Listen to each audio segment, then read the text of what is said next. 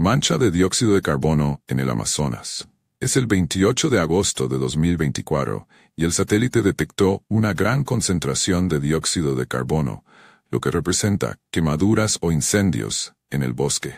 Lo que siempre estamos observando es que en lugar de cuidar la naturaleza, estamos viendo una aceleración de la devastación y destrucción ecológica en todo el mundo.